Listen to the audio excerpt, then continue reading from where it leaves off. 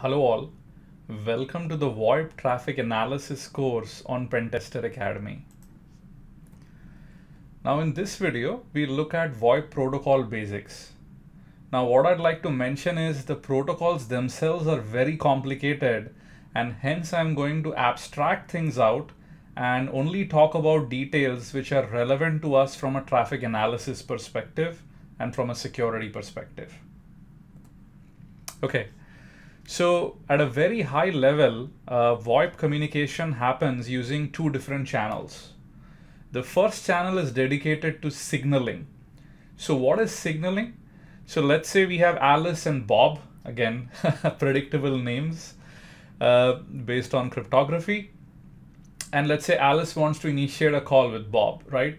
So this means, you know, through some kind of a intermediate server, she's going to send that invite message to Bob. Bob would accept it. The phone start ringing on both sides.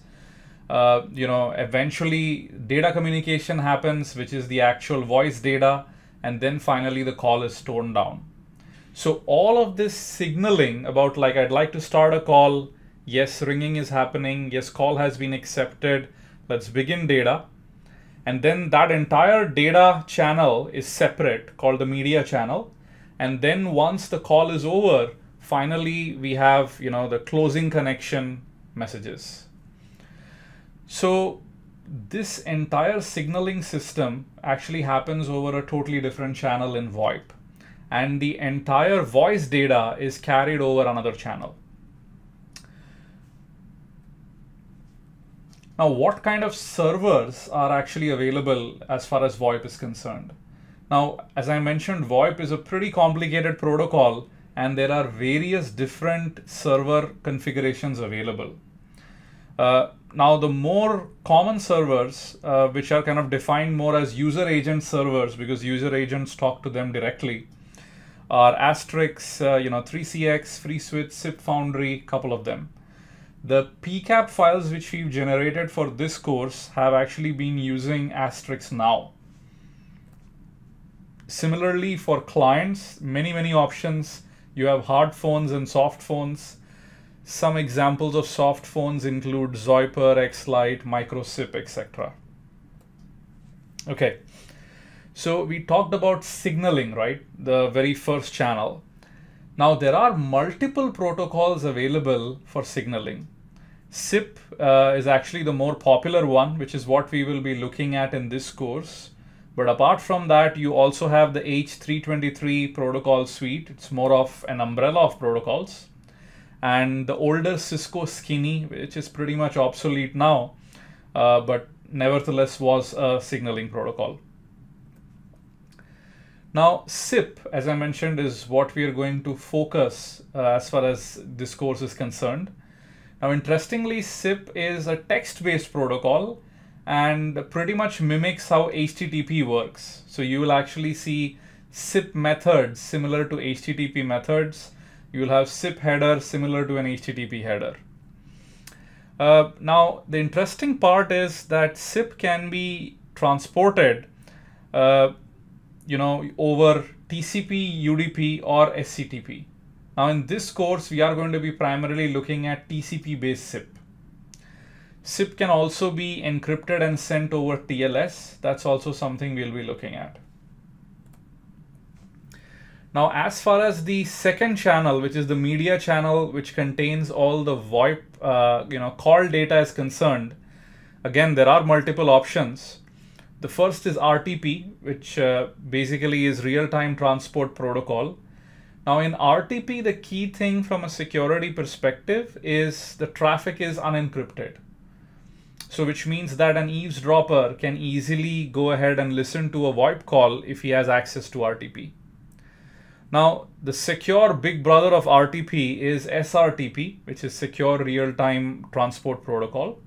And this is actually encrypted, and we'll talk about this in great detail as well.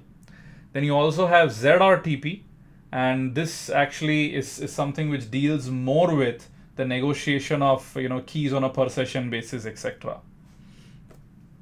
Okay, so how does it work? Now, in the in the most simplistic scenario, you have a VoIP client. So let's say you know you have one of these hard phones or soft phones, uh, which have a VoIP application on it, and then you have the VoIP server such as an asterisk server. So these devices, including your laptops or any VoIP client, has to first register to the server uh, to tell that, hey, you know what, I am up and running and I am ready to accept and make calls. Now, this server is called the registrar and for most of what we've kind of seen, you may actually find that all of this functionality of registrar uh, and the user agent server is kind of combined together in one single software. Okay, so here is a sample VoIP call. And we have two entities, Alice and Bob. Now, Alice would like to make a call, so it sends an invite. Uh, Alice sends an invite message.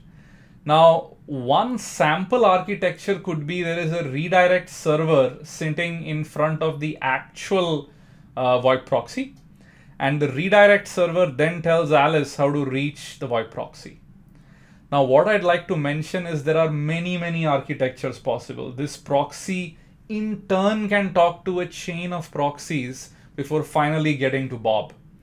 Now, as this is a traffic analysis course, all we care about is being able to receive traffic uh, from one of these tap points. And at the very least, we should be able to see the traffic from one endpoint to and fro. And typically that should be sufficient combined with other techniques to go ahead and decrypt the traffic. Okay, so once Alice figures out the actual VoIP proxy server through the redirect server, uh, she forwards her invite to the proxy, which forwards it to Bob. And after that, pretty much, you know, Bob's device starts ringing and all of this is actually sent back to Alice using, you know, 100 messages. So 100 for trying, 180 for ringing. These are all transient messages.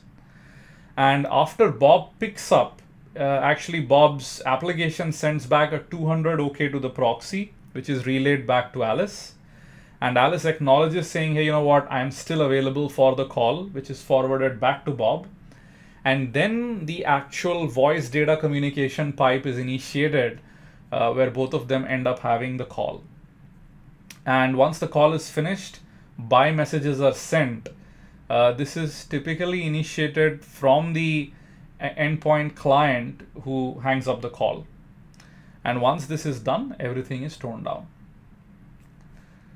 So let's actually look at a sample call. I'm going to just give you a very brief look in this video. And the next video, we'll look at more details. So you should have the PCAP files downloadable from under this video. And I'm going to go inside uh, subdirectory after you download and unzip it. And we'll go inside the SIP RTP directory. And there are you know, three files. I'm actually going to open up the normal call two parties files with Wireshark. So this is a VoIP call which has been captured between two parties and we have the proxy server in between. Now, interestingly, what we've done is we've ensured that we have captured traffic on both sides, right? Uh, this is really for teaching purposes so that you get a very, very clear idea of what is happening. Now, in the real world, you may only be able to capture one side, and that is fine. But knowing what is really happening simultaneously on both sides just allows you uh, to have a better understanding. Now, the best way, really, I mean, even without looking at any of the packets, uh, is to click on telephony and then to go to SIP flows.